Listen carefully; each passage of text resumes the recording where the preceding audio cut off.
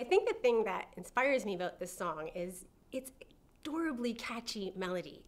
And uh, we've played this song a few times getting ready for uh, the Hall of Fame, and I always have people coming up to me in the audience and telling me their Katy story, why they know it, why their grandmother still remembers the lyrics, why a melody as sweet as this sticks around. It's just a melody that has sort of defied the ages. It's still like, it's, I knew it, and I'm only 39.